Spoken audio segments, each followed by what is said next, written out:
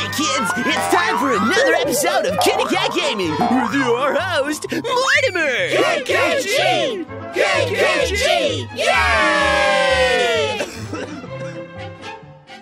Hey everybody, and welcome back to another exciting episode of Kitty Kat Gaming. We are playing Dream Daddy, a dad dating simulator, and we are going Robert only this game. We are currently on our second date with Robert, and it's so romantic. We're at makeout point, and he just handed us a knife. Um, so I'm not really sure what that's for, but we're finding out. Have you ever whittled before? Considering I'm not a grandpa, no. What do you mean by that? Well, I just thought you would have a block of wood shipped to you along with your first social security check. Morty, I'll have you know that whittling is a time honored tradition enjoyed by both young and old alike. That you're dismissing it before you even tried it speaks volumes about your character. My grandpa whittled. However, because I've gotten to know you for some time and have come to think of us as friends, I'm willing to attribute it to some ignorance instead of malice. What I'm trying to say is go get that stick. Robert motions to a good looking stick on the ground, perfect for potential whittling. I pick it up. The most important thing to remember while whittling is to cut with the grain, not against it. If you cut against the grain, the wood is going to splinter. Isn't that the most?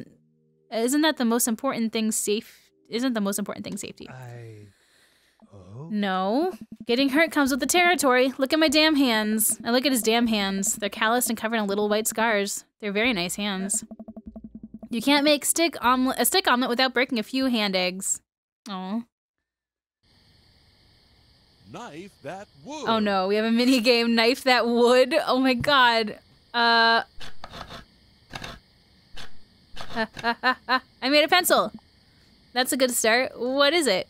Uh sharp stick, pencil, knitting needle, sharp stick. Careful, don't poke yourself with that. You made a sharp stick. Hooray! That's in our inventory now.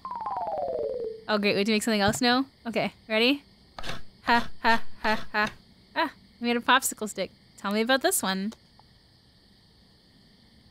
Flatworm, tongue depressor, or popsicle stick? Tongue depressor. I should put that in my first aid kit. Never know when you might need one.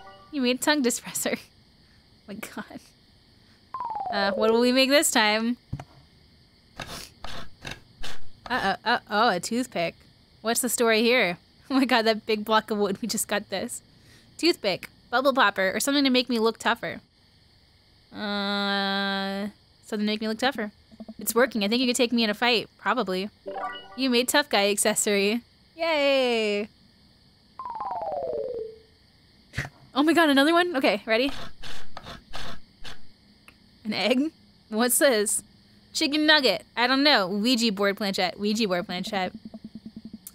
Now you need to do is carve up the board and we're all set. Also, maybe carve a ghost? You made a Ouija board planchette. It's missing the hole in the middle. Oh my god, more? Alright, what are we making this time? Uh, okay. Nice form. What's it supposed to be? A self-portrait? Louisiana? Or it's you? Uh, it's you. You really captured my likeness. I'm impressed. You made Robert, I guess. Oh my god, it's adorable. It does look like a chicken nugget. Alright, ready? Uh, chopstick? Interesting. What do we have here? Chopstick for a righty, chopstick for a lefty, chopstick ambidextrous. That one. It's a stick. You made a chipstick. oh my god. Another one? Oh my god, how many of these are there? Do I have to hit the skip button? Is this gonna go on for forever?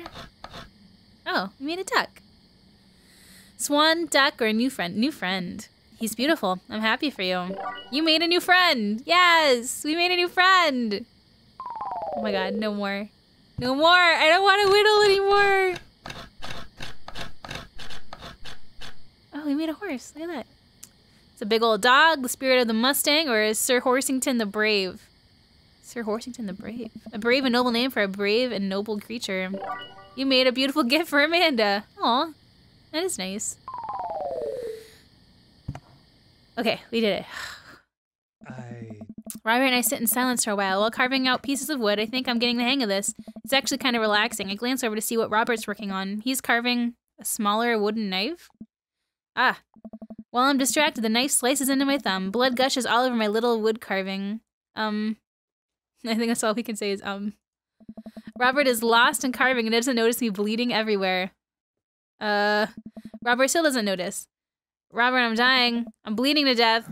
Robert finally looks over. He reaches into his jacket again. Jesus, how much stuff does this guy keep in there? And pulls out a red bandana. He wraps it around my thumb. Hold tight. He hops off his truck and I can hear him rummaging around in his car. He comes back a moment later with some well stocked first aid kit. Robert carefully wipes all the blood off my hand and swipes a bit of antiseptic into the cut. With surprising gentleness, he places a bit of gauze on the wound and wraps it all up. You okay? Yeah, I'm good. He hands me what's left of this tube of antiseptic. Hmm? Make sure to keep that cut clean. It's oddly touching and and a little sexy. I guess I'm a real whittler now. That you are. Be careful though. They're attracted to the smell of bud blood. Wait, what? What's attracted to the smell of blood? Cryptids. Tons of them out here, you know? Cryptids? Like Mothman and stuff? Mothman is bullshit, but yeah, this town's a hotbed for cryptozoological occurrences. You're joking. Hmm. Oh, how I wish I were. I'm a skeptic myself. Or at least I thought I was. There are things in these woods that we can't possibly comprehend. I think about my entire time in the city, aside from the occasional stray coyote. I don't think it's too bad. You ever hear of that Dover ghost? I don't think so. Oh my god, what's a Dover ghost? Well, let me tell you a story. I was out in the woods here on a weekend camping trip with Betsy. You don't know Betsy, but she's a big pup. Pitbull, real intimidating. I feel safe around her. First night goes out without incident. I get some solitude. Betsy gets to pee wherever she wants. All good stuff.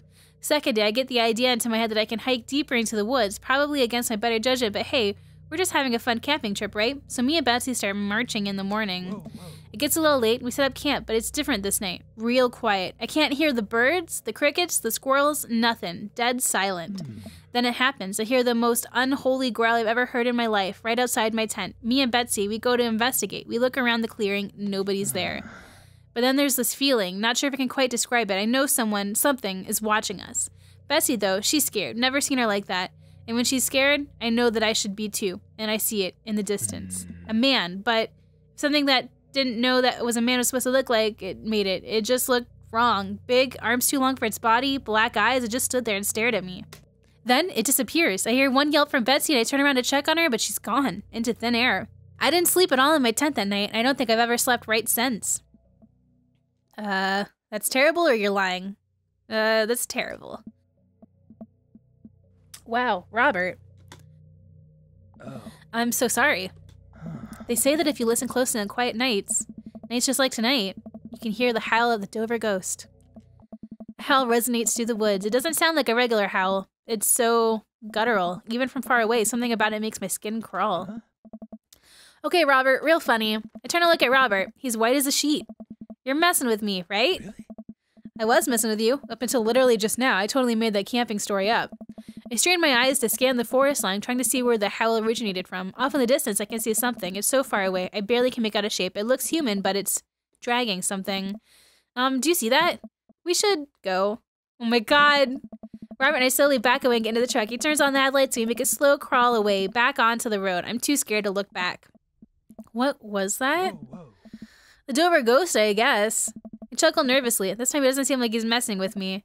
Or maybe someone illegally dumping garbage on the wildlife preserve? Mm. Yeah, that's the story we'll tell ourselves. We sit in si- silence for a little while longer, and the fear of whatever was slowly subsiding as we get closer to the city. Uh-huh. Thanks for coming out. This was fun. Oh. I'm sorry I haven't been in touch. I've just been in away lately. I had to get out of the house. Aw.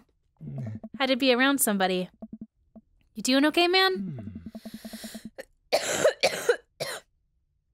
Robert thinks for a second and lights another cigarette.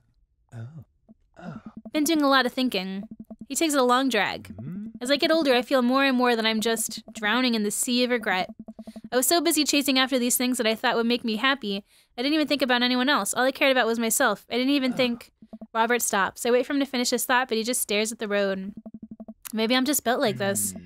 Or maybe I do it to myself. Maybe it's my own choice and I'm unhappy as I am. I try to think of something to say. I remember all the times in my life when I've been sad, and there's a great many of them, but there was always a light at the end of the tunnel, something I held on to that kept me going. But there's something so resigned about the way Robert's talking.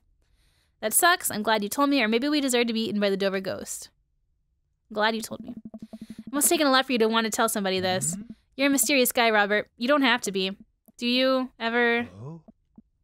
wish you were a better father? Think about it for a second. All the time. You can read all the parenting books you want, but nothing will ever prepare you for raising a child. There's so much stuff I regret or wish that I could have done better, but I don't have the answers. I don't know if anyone does.